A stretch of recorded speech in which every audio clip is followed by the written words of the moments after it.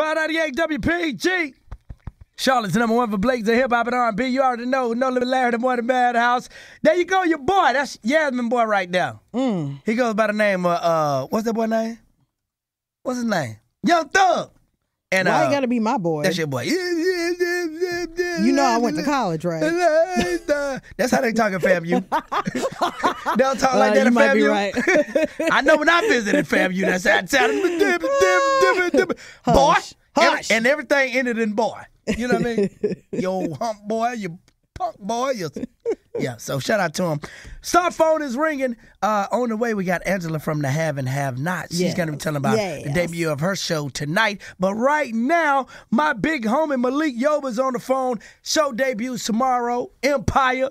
Ooh, Taraji P. Henson's in there. My man Terrence Howard's in there. And Malik, what's up, big bro?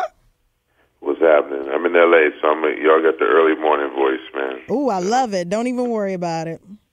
All right, you just keep talking to me, girl. you might get me up. Ah, that's Wow, that's no pun intended. He might get okay.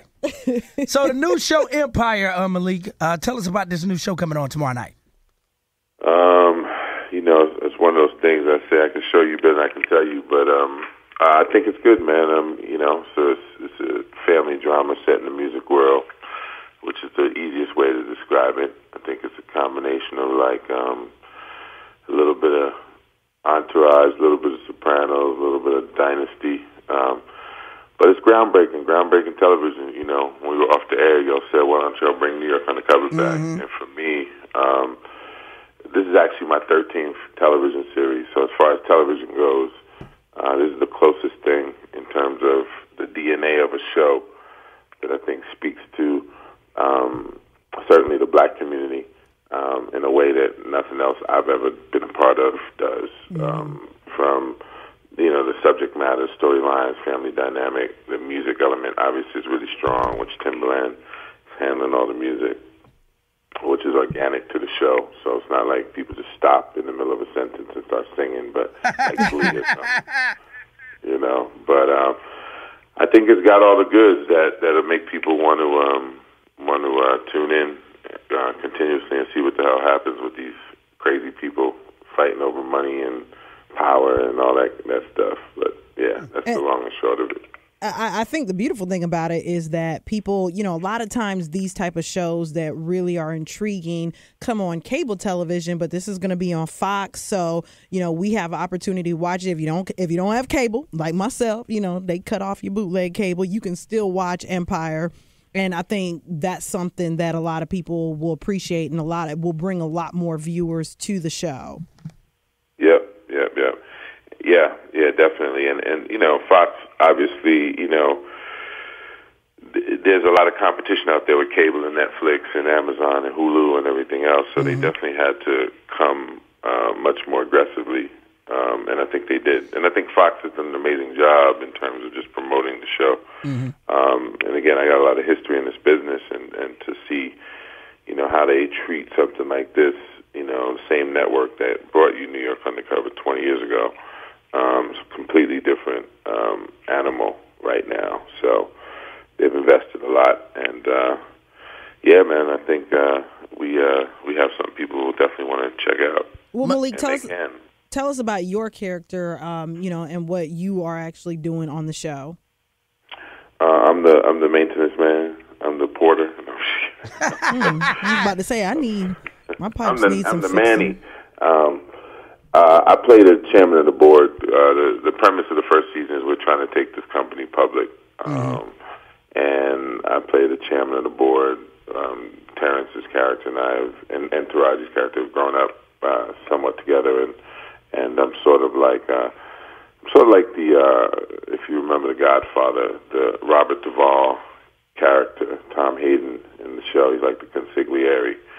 You know, I'm that dude behind the dude, uh, you know, pulling the strings and, and helping be the architect of of uh, of the business, not just the music side of it, but obviously if we're taking the company public, there's a lot of elements to it. You know, not just records, but all the other ancillary business. So that's that's kind of it in a nutshell.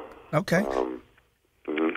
Taraji P. Henson, Terrence Howard, we haven't seen them together, I think, since uh, like Hustle and Flow. This seems like this is kind of like a spinoff of Hustle and Flow a little bit, but it's also surrounded by some controversy with 50 Cent saying that, you know, the network may have stole some of his ideas with his his work on Power of, you know, his stars. Um, Is that what he said? that's what he said. That's what he said. So I was going to God actually, bless him, man. I was gonna ask you your feeling on-. Yeah, I was going to ask you your feeling on the whole thing. I think he's promoting our show. Okay. You know, I mean, I, I think it's a blessing to to to work in this business. Period. So, however people want to choose to to look at it, I think that every individual um, that has an opportunity to live their dream, um, I think, should be supported, especially if they're coming at it from a righteous place. So, um, I don't get involved with that kind of um, bickering. That's some that's some Willie Lynch nonsense, Well, let me and ask it's not true. let me, let me ask you this taking it away from empire for just a second and taking it back to new york undercover you played a police officer a detective on that show being from the bronx with everything that's going on in new york right now with the nypd how do you feel about you know the situation with um, uh, Eric Garner with the two officers that were shot and killed by the man who you know said it was retaliation for Eric Garner. What what are your thoughts being a New Yorker and being somebody who actually played a police officer and kind of has a little bit closer of an idea of what it's like to be a police officer than maybe us everyday people? Well, I mean, um, if you you know, my experience growing up in New York City is there was a time when I got beat up by four white cops, literally four white cops, and um, I took, and I was like 20 years old, and at the time I was working with uh, a group called the City Kids Foundation, and we, we were all about bringing people together cross culturally to make a difference in the world.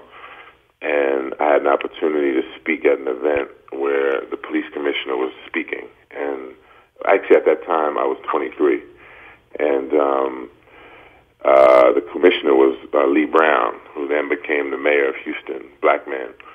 And at this conference, um, I stood up and said, as the youngest person in the room, because I was, I would like the opportunity to ask you, police commissioner, why is this okay that I got beat up by four white cops when I was actually trying to prevent um, an altercation at a McDonald's? And uh, he said, um, well, listen, why don't you call my office and we can talk about it? And I stood up and I said, actually, why don't you call me? And I walked up to the podium and I gave him my card and he called me.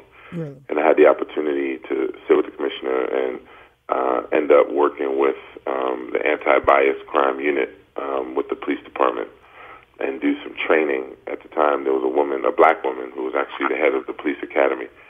So, from a personal standpoint, um, I've just always been proactive in making a difference where I sit. Where I sit. So, the dude that shot the cops in his twisted fantasy, he thought he could make a difference by killing folks. But there's a lot of work that we have to do, and mm-hmm. as it relates to television, I think that television is a very powerful medium. You know, when I did New York Undercover, I took that opportunity as a police officer on on on the show to extend the work in the real in a real way, in a real meaningful way, um, in the community. So when I would go to prisons and work and do workshops or motivational speaking, speeches, it was always fascinating to me how literally prisoners would celebrate a dude who was playing a cop or when dudes were selling drugs on the corner where we used to film, like they would leave the corner to give us props to so we can do what we had to do as as a television production. So Right. at the end of the day, I just think that there's a lot of work that needs to be done from a community standpoint, and um, I think that no matter where you are, you got to be part of the solution. All right, Malik Yoba, ladies and gentlemen, brand new show. Power comes on tomorrow night. No, you didn't just do that. You didn't just say power, Empire. brother. I mean, Empire. I'm sorry. I was reading the 50 Cent uh, statement. That's what it was. Empire comes on tomorrow night on Fox. Make sure you check it out. Taraji P. Henson, Malik Yoba, and of course, Terrence Howard, all in this series. Real quick, Malik, how you let them kill you off on Why Did I Get Married? How you let them kill you off? You gonna watch Empire tomorrow, bro? Yeah, Of course, I'm going to watch it tomorrow. I just want to know why you let them kill you off. you know, Tyler does what he does, man. It's, I'm still here, baby. All right, that's what it is. Appreciate you calling in this morning. Yes, sir. You too. Charlotte's the number one for blazing hip hop and R&B. It's always Power 98.